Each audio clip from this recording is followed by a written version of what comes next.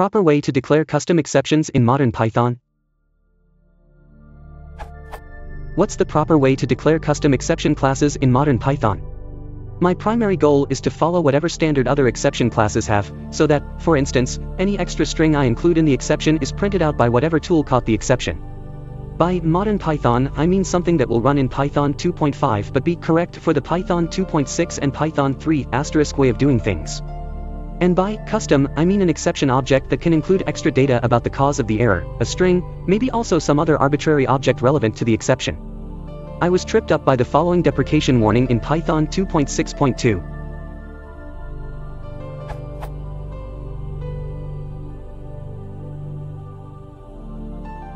It seems crazy that base exception has a special meaning for attributes named message.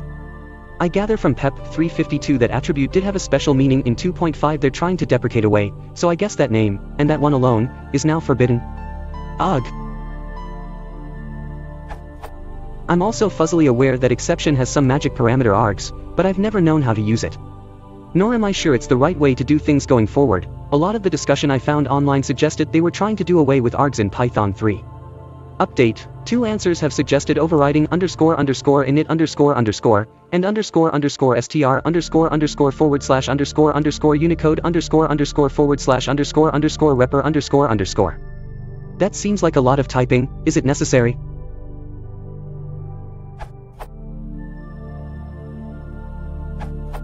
Maybe I missed the question, but why not? To override something, or pass extra args, do this.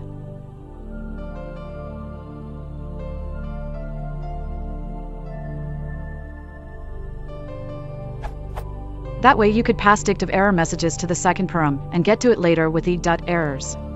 In Python 2, you have to use this slightly more complex form of super.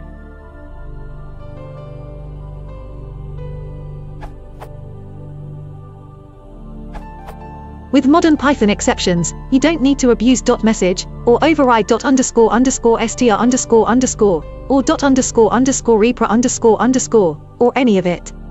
If all you want is an informative message when your exception is raised, do this.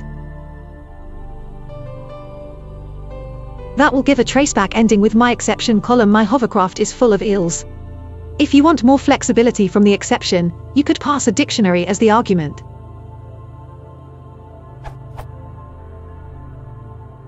However, to get at those details in an except block is a bit more complicated.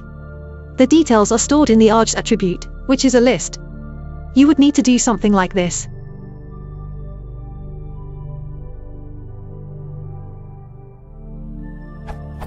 It is still possible to pass in multiple items to the exception and access them via tuple indexes, but this is highly discouraged, and was even intended for deprecation a while back. If you do need more than a single piece of information and the above method is not sufficient for you, then you should subclass exception as described in the tutorial.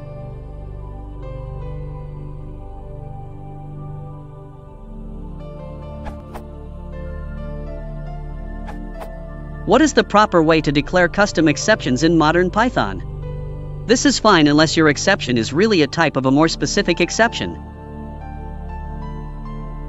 Or better, maybe perfect, instead of pass give a docstring.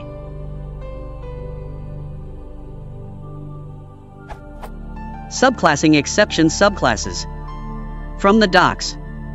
Exceptional built-in, non-system exiting exceptions are derived from this class. All user-defined exceptions should also be derived from this class. That means that if your exception is a type of a more specific exception, subclass that exception instead of the generic exception, and the result will be that you still derive from exception as the docs recommend. Also, you can at least provide a doc string, and not be forced to use the pass keyword.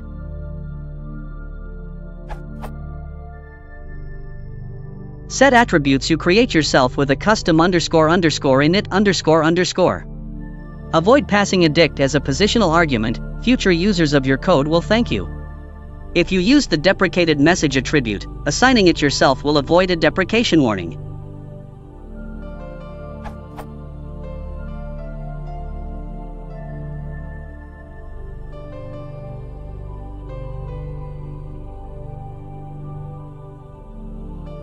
There's really no need to write your own underscore underscore str underscore underscore or underscore underscore underscore underscore. The built-in ones are very nice, and your cooperative inheritance ensures that you use them. Critique of the top answer.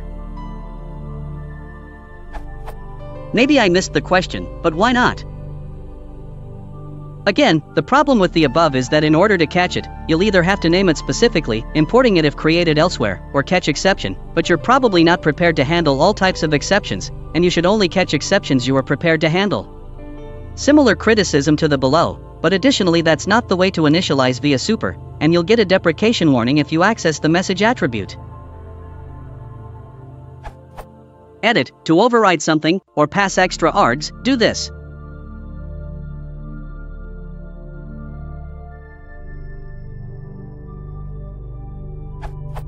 That way you could pass dict of error messages to the second param, and get to it later with e.errors. It also requires exactly two arguments to be passed in, aside from the self, no more, no less. That's an interesting constraint that future users may not appreciate. To be direct, it violates Liskov substitutability. I'll demonstrate both errors.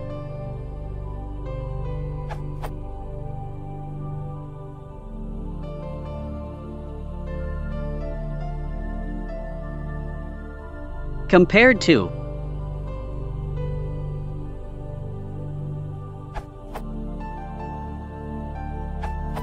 As of Python 3.8, 2018, this URL, the recommended method is still.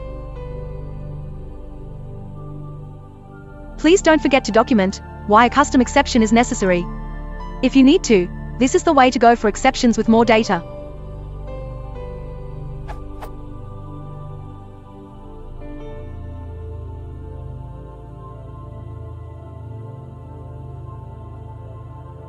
And fetch them like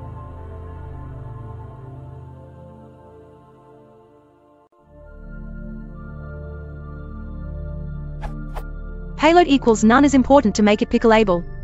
Before dumping it, you have to call error dot underscore underscore reduce underscore underscore. Loading will work as expected. You maybe should investigate in finding a solution using Python's return statement if you need much data to be transferred to some outer structure. This seems to be clearer, more Pythonic to me. Advanced exceptions are heavily used in Java, which can sometimes be annoying when using a framework and having to catch all possible errors.